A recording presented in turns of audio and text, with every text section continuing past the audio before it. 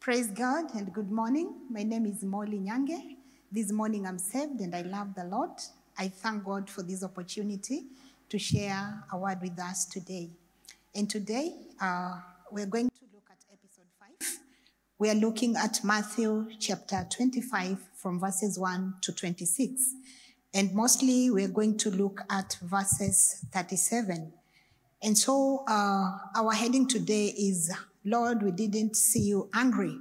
And if you read this chapter of Matthew, chapter 25, from verses 31 to 46, you will realize that this is the time when Jesus was sharing uh, the parables. And this is one of the last parables that Jesus shared with his uh, disciples.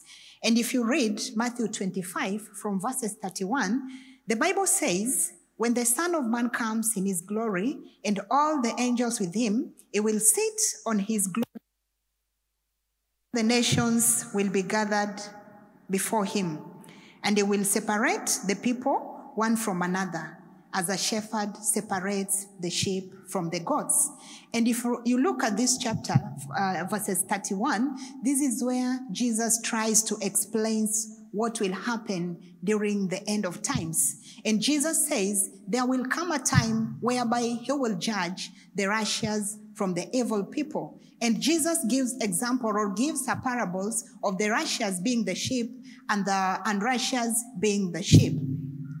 And as we look at this chapter, we'll find that this passage takes place towards the end of Jesus' earthly ministry and imparts viral lessons to his disciples and the crowd gathering around him.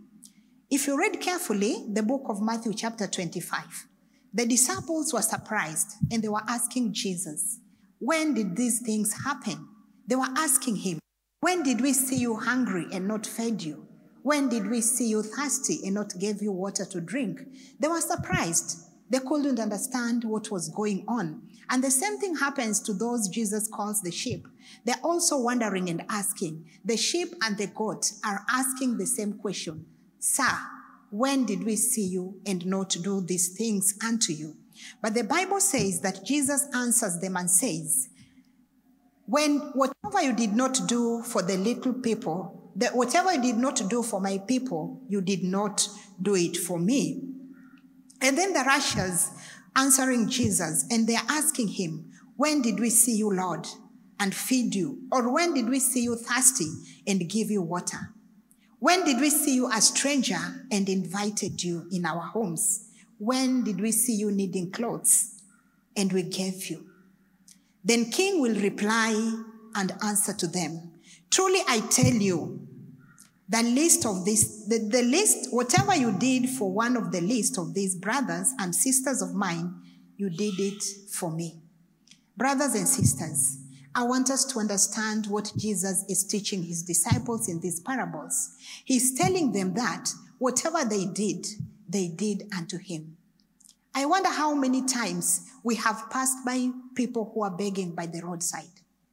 And most of the times, what we do, we do what is called separation. Just as Jesus sat down and taught his disciples, and he was talking about separation, he was talking about punishment and judgment at the end of days.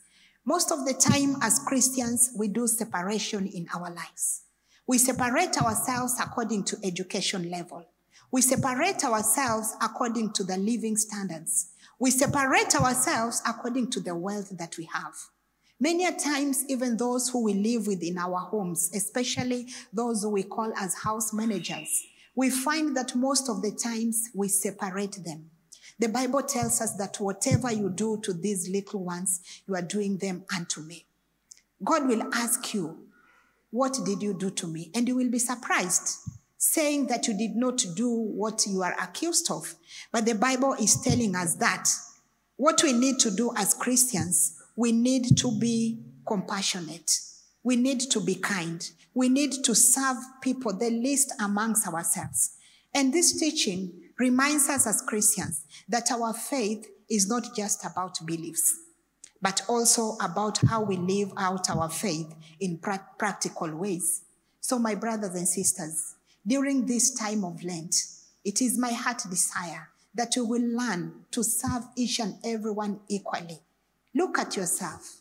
Look at yourself back from where you began. Are you a sheep or a goat? And if you are a goat, during this time of Lent, during this time that we take and pray, let us go before God and pray that God will help us to be the sheep and not the goat. Because just as the Bible says, that separation will happen and judgment will come. And my question is to us, brothers and sisters, when judgment comes, which side will you be?